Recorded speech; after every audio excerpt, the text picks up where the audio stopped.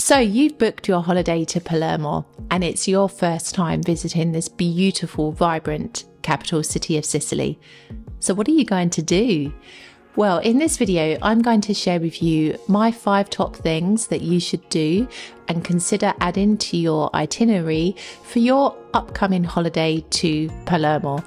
There is so much to see and do in this city, but I think these five things that I'm about to suggest will add a really good foundation to your stay and help you to make the most of this incredible place do a church crawl and visit the many beautiful and mainly free churches and the cathedral itself in the centre of Palermo.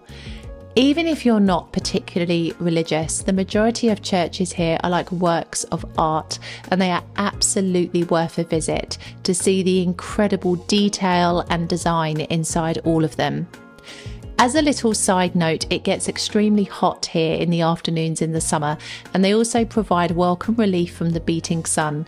Not to mention that some even have private courtyards as well as the fact that other churches also have rooftop views of Palermo that you can benefit from. If you're interested to know more about the churches here in Palermo, make sure you subscribe to this channel and stay tuned for a video where I'll be taking you around my top favourite churches here in Palermo coming very soon. I also recommend a trip to Monte Pellegrino. This is where you will find the church of the patron saint of Palermo, Santa Rosalia. It's an extremely old church which is built into the side of a cliff, but it is very, very special and definitely worth a visit.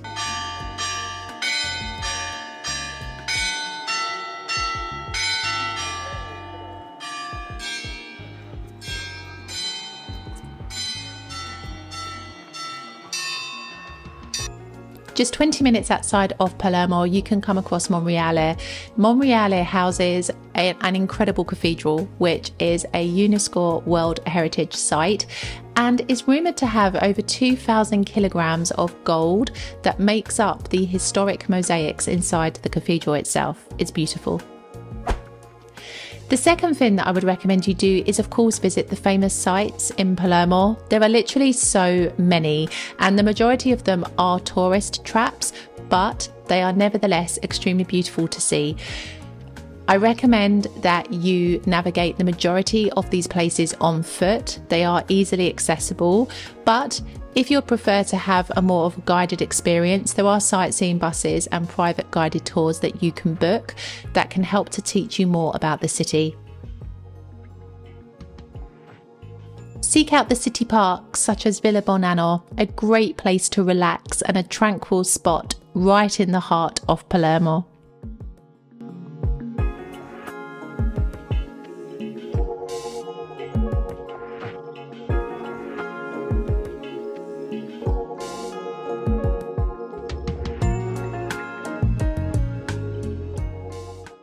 Via Maqueda is full of restaurants and bars, but be aware, a lot of these are tourist traps, so do your research.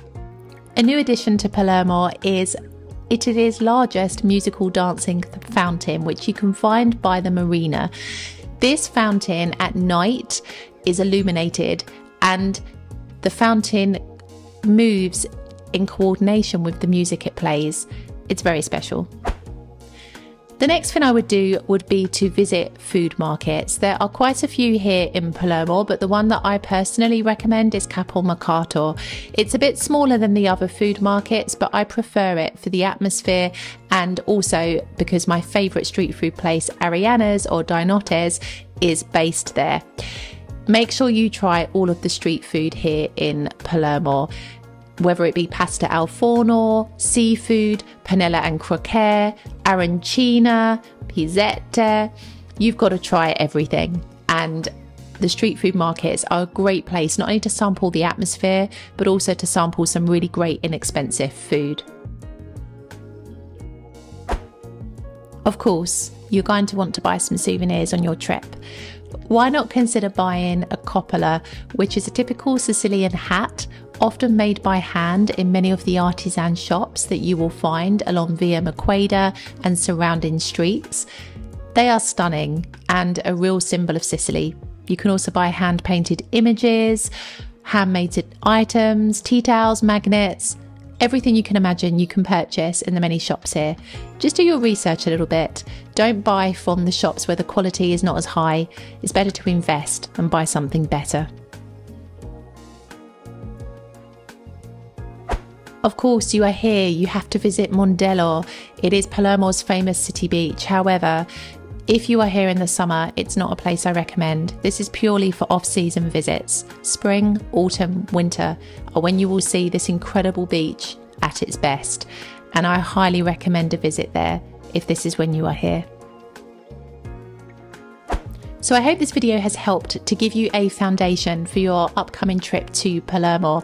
If you're interested to know more about life in Palermo, make sure you subscribe to this channel as over the coming weeks I'll be showing you even more of Palermo along with tourist tips to help you to have an incredible time.